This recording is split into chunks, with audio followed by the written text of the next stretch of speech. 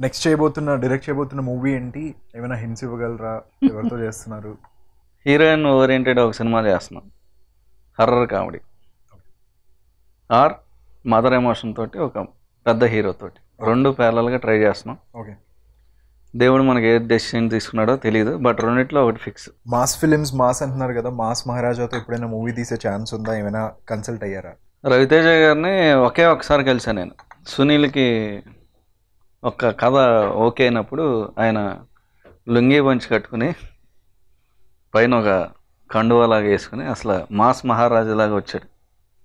వచ్చినప్పుడు sir sir నేను diamond Ratnababu ఆయన ఒక నవ్వు ఆయన స్టైల్లో నవ్వి నాకు తెలుసమ్మా అన్న. నేను మీతో సినిమా కథగా వినేస్తున్నాను. కథ కాదు సార్ మీతో డైరెక్షన్ చేయాలని అడిగా నేను. చేద్దాం ఫ్యూచర్లో చేద్దాం అన్నారు. బట్ నాకు ఇష్టమైన వ్యక్తి ఎవరు అంటే రవితేజ గారు. నేను కథ చెప్పినా కూడా హీరోయిజం ఆ ఎలివేషన్స్ కానీ అన్నీ రవితేజ గారికి సూట్ అవుతాయని చెప్పి చాలామంది చెప్తూ ఉంటారు. మా ఫ్రెండ్స్ మా అసిస్టెంట్స్ కానీ అందరూ. సో రవితేజ గారు దొరికితే బేవత్స భయానకాలు చూపించవచ్చు కొన్ని ఫిల్మ్స్ కంటిన్యూస్గా చేసింది లేకపోతే వాళ్ళ రోల్స్ వాళ్ళు చేసిన దాన్ని బట్టి ఒక బ్రాండ్ వేస్తారు. ఇది మహేష్ బాబు గారితో కూడా ముందు ప్రాబ్లం అయింది. ఓకే వచ్చిన తర్వాత తర్వాత కొంచెం ఇలా కాదు అది ఇది అని. ఈ బ్రాండ్ చేసి ఇవి ఇలానే ఉండాలి ఇలానే ఉండాలి అని చెప్పి ఒక డిలమాలో ఆడియన్స్ ఉంటారు కదా. అవును. దానివల్ల కూడా మనకు చాలా ఎఫెక్ట్ పడుతుంది. దాన్ని క్రాక్ చేయడానికి దాన్ని సాల్వ్ చేయడానికి ఏమైనా సొల్యూషన్ ఉందా?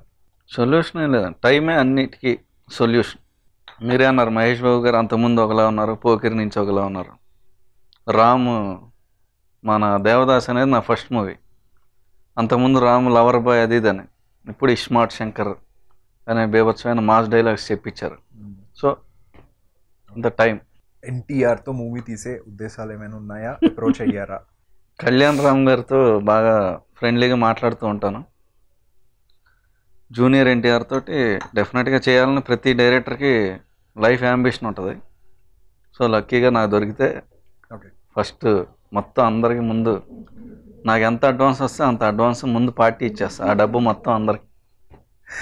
అంత ఇష్టం నాకు. డిజిటల్ స్పేస్లోకి డైమండ్ బాబు గారు వస్తున్నారా? వస్తారా? ఎందుకంటే అక్కడ మీరు చెప్పాలనుకుంది చేయడానికి మీకు ఫ్రీడమ్ ఉంది కాబట్టి. సెన్సర్షిప్ రూల్స్ ఎక్కువ లేవు కాబట్టి. ఏమైనా ప్లాన్స్ ఉన్నాయా? వర్క్ చేస్తున్నారా ఏమన్నా? ఓన్లీ మూవీయా అదే మూవీతో పాటు నాకు ఎక్కువ నాకు నెట్ఫ్లిక్స్ను అమెజాన్ బాగా నచ్చింది. ఓకే సో వెబ్ సిరీస్ చేస్తూ ఉంటే ఎక్కువ మోర్ ఐడియాస్ ఉన్నాయి. ఐడియాస్ తోటి వెబ్ సిరీస్ చేస్తాను. ఓకే ఇంట్రెస్టింగ్ ఐడియాతో వస్తా. మీరు idea process only observation sir లేకపోతే బుక్స్ కానీ చదవడం కానీ దాని నుంచి కూడా ట్రిగర్ అవుతాయా? నా బుక్స్ నుంచి బాగా చదువుతూ ఉంటాను. ఇప్పుడు మీరు కరెంట్లీ చదువుతున్న ఏదైనా బుక్ ఒకటి ఉందా? ఒకే బుక్ని ఒక ఇరవై ముప్పై సార్లు చదివాను. రామాయణ విషవృక్షం అని. రంగనాయకం గారు రాశారు. ఓకే. రాముడి ఇడియట్ అని చెప్పి తన రాముడి ఇడియట్ తన వ్యూ రావణాసురుడు హీరో అని. సో ఆ బుక్ని ఎక్కువసార్లు చదివాను. అలాగని రాముడి ఇడియట్ కాదు. ఆ- విధానం నాకు నచ్చింది.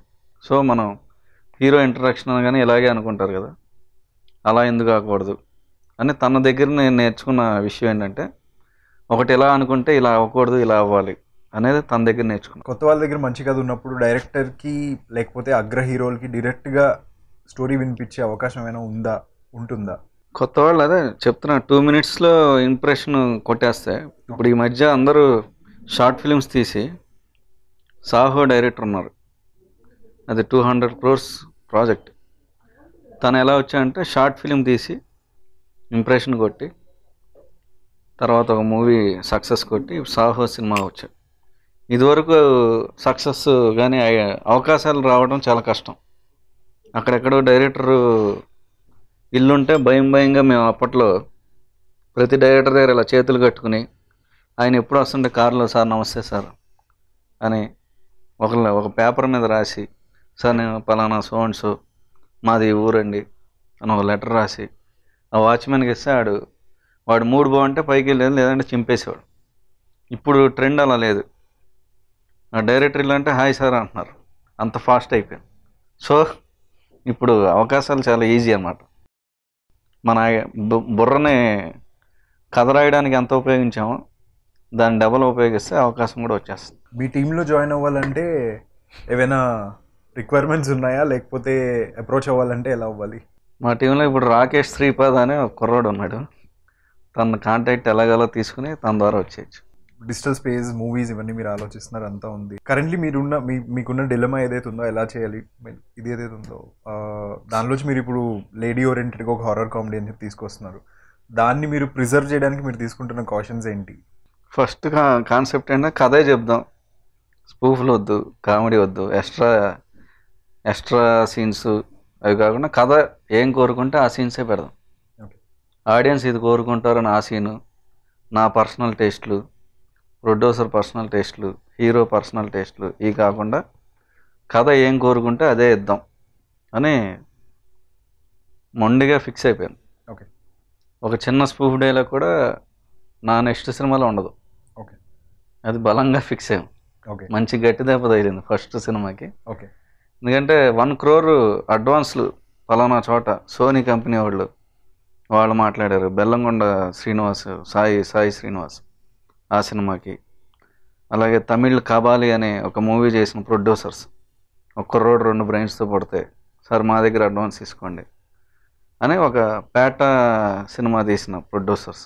ఇంతమంది వాళ్ళందరూ బలంగా నమ్మారు. ఒక్క రోడ్ రెండు బ్రెయిన్స్తో పడితే అక్కడ పాతి లక్షలు ఇక్కడ యాభై లక్షలు ఇక్కడ పాతి లక్షలు. ఇంత మన చుట్టూ కనబడి ఒక్కసారి సినిమా రిలీజ్ అవ్వగానే కథ చెప్పకుండా మధ్య మధ్యలో ఈ కామెడీ సీన్స్ ఏంటి? ఈ డీవియేషన్స్ ఏంటి? అని వాళ్ళకి వాళ్ళే మీ కథ బాగుంది కానీ ట్రీట్మెంట్ నచ్చలేదు సార్. టేకింగ్ బాగుంది సార్. మేకింగ్ బాగుంది sir. But treatment cinema treatment నచ్చలేదు అని అంతమంది చెప్పేసరికి ఒక వన్ వీక్ కోలుకోవడానికి టైం పట్టింది. ఈ వన్ వీక్లో మళ్ళీ ఎనర్జీ మళ్ళీ పవన్ కళ్యాణ్ గారు సాంగ్ వేసుకుని ఏం పట్టేసుకున్నారు sir? Look at my face in the mirror okay. Pawan Kalyan ఫ్యానా. Time బాగా ఫ్యాన్. ఓకే. ఆపర్చునిటీ ఏమన్నా? నేను సినిమాలు చేయను అంటున్నారు బట్ చేస్తే కనుక ఆ కథ నాదే అవ్వడానికి ఏం చేయాలో అది చేస్తాను ఓకే. ఏమైనా రాసి పెట్టారా ఆయన కోసం అని చెప్పి? బుర్ర కథ ఫస్ట్ షాట్ ఉంటుంది. పవన్ కళ్యాణ్ గారి పోస్టర్ మీద సినిమా స్టార్ట్ అవుతుంది కోహినూర్ అని ఉంటుంది. ఓకే.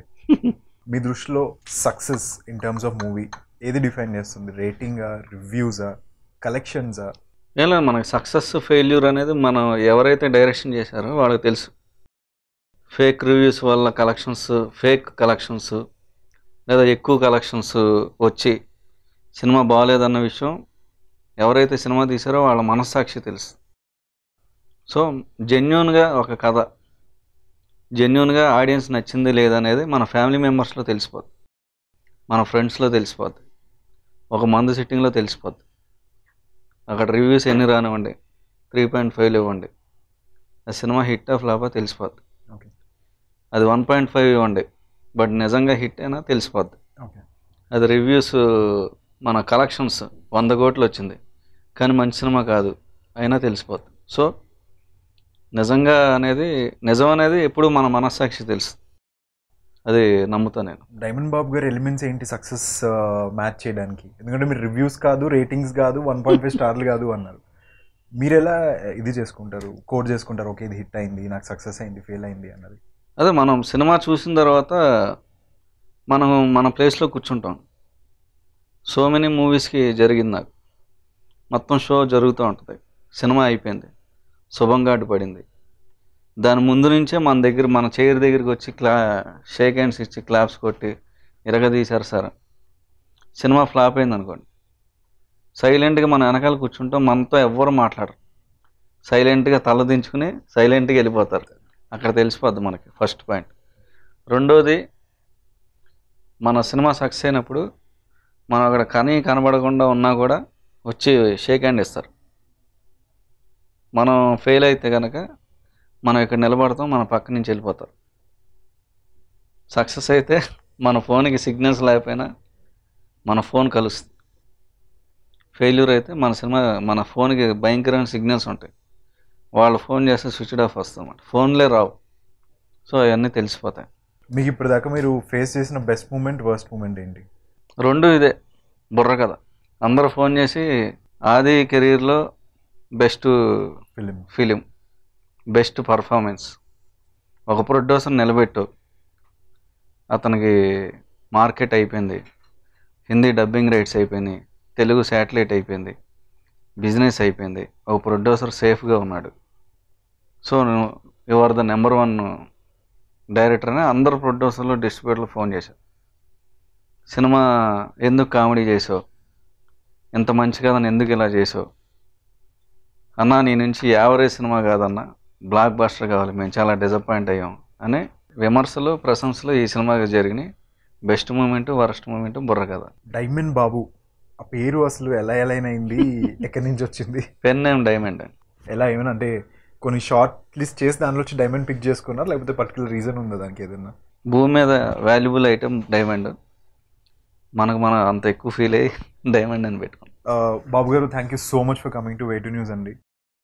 మీరు చాలా ఇంట్రెస్టింగ్ విశేషాలు చెప్పారు యూజర్స్కి మీ నంబర్ ఇచ్చేశారు. త్వరలోనే యూజర్స్ మీతో మాట్లాడచ్చు లేకపోతే ఏమవుతుందని మనం వెయిట్ చేయాలి.